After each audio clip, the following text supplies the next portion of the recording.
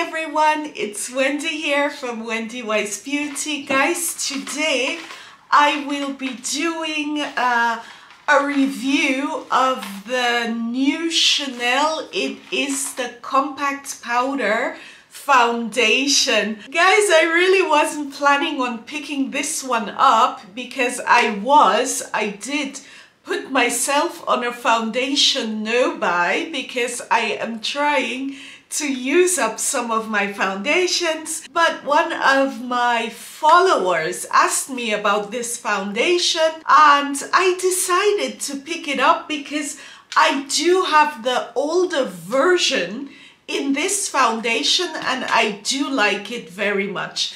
Anyway, before I get into this video, guys, for those of you who are new here, on this channel, I do makeup, I do perfume, I do skincare. So I hope you will find something on this channel which interests you and you will consider subscribing in the near future. Guys, do remember to hit the bell button because a lot of you are telling me you are not seeing my new uploads.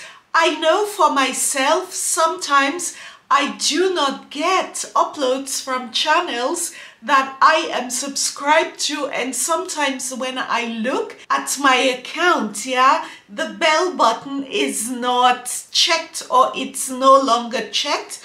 I don't know how YouTube does this. So why don't we get into this uh, review, this unboxing by the way, I am not wearing any skincare on my face. The only thing I have done is my eyebrows and I have added a bit of my Guerlain uh, eye primer. The products, they come like this and it is the Ultra Le Teint Compact Powder Foundation. I ordered this, I think about uh, a week ago and when I ordered you can choose yeah? This is already the holiday packaging and I chose the packaging with this uh, charm on here. I hope you can see it. It's the Chanel logo. Honestly I have no idea what I'm gonna do with this. I might use this for uh, putting Christmas gifts or something like this. This is what I was thinking when I got this. I also got some samples and like I said, I am not wearing anything on my face. So I wanted to use one of these cream samples. Business as usual, I got the Chanel Sublimage Le Creme. I do like the Sublimage products, but I have not decided as yet to get a full uh, jar or bottle of the cream and this one is new I got also a five milliliter sample it is this Le Lift uh, cream.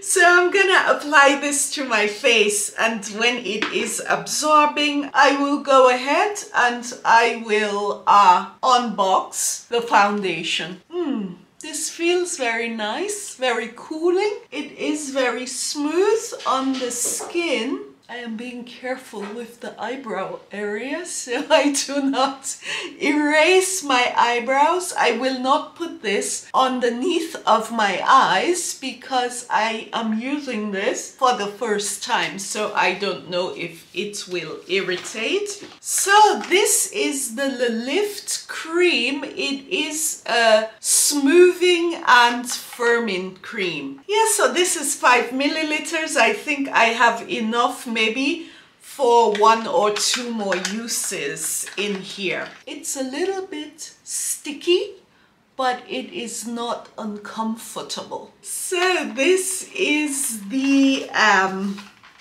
the compact foundation.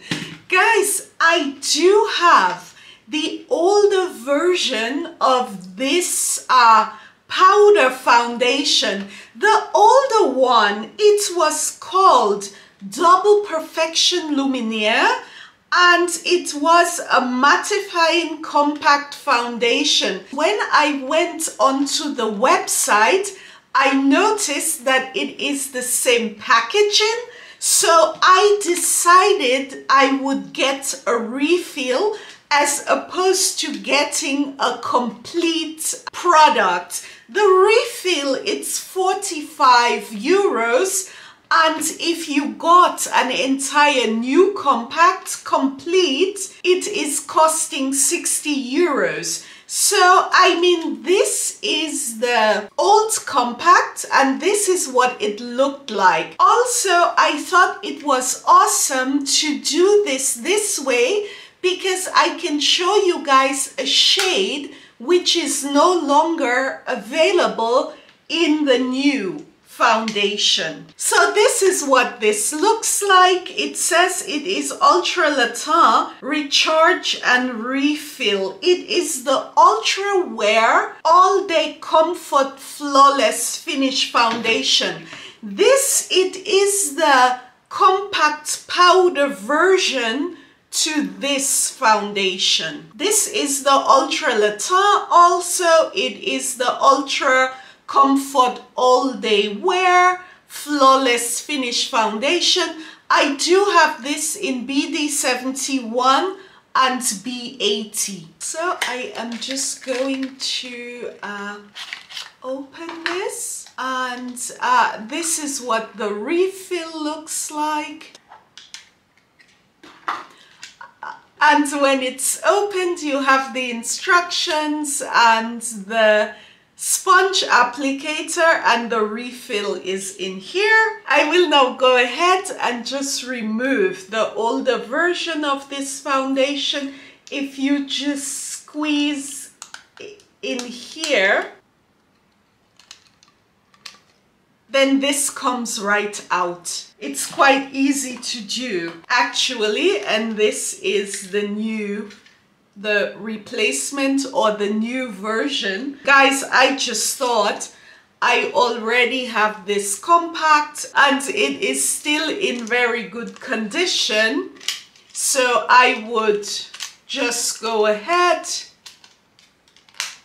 and replace this. And voila, here we go. I now have the new powder in the old compact. Yeah, I refilled it. So for those of you who have the Chanel foundation in the mattifying compact or any other uh, powder foundation from uh, Chanel, the new foundation fits perfectly in here and I saved 15 euros. And this is what it looks like with the sponge. I did use quite a bit of the Perfection Lumière as you can see from here. These days I do not use a lot of powder foundations due to the fact that I do have mature skin but I do remember the Perfection Lumière did look quite nice on my skin so I am hoping that this is similar.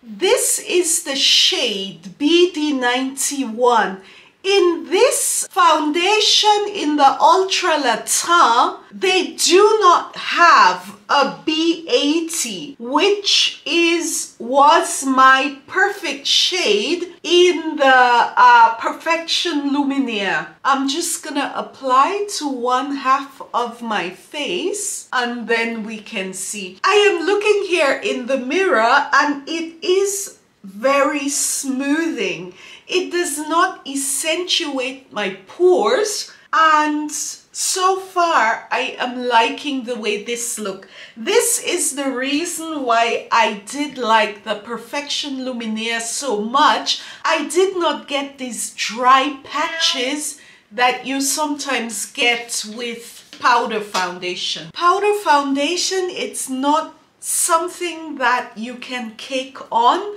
so I just applied this you know uh, twice yeah I went into the compact twice and this is the shade BD91 on my complexion. In Chanel foundations, I am normally taking B80, which is the base shade. Sometimes it's a bit too cool or BD71 or BD91. Lately, for example, in the number one de Chanel, the BD91 is perfect and also I have BD91 in, I would say, most of the new foundations also in the Sublimage foundation. Sometimes the BD91, it is a bit too warm, but it works. I do wish that Chanel would probably come up with a BD, I would say 80. This would be for me maybe the perfect shade. But this is the way this looks. I think it is very nice. It has very good coverage. It covers my imperfections, but I must say I do not think this is one for people with dry skin. I just used some of these cosmetic sponges to make some swatches.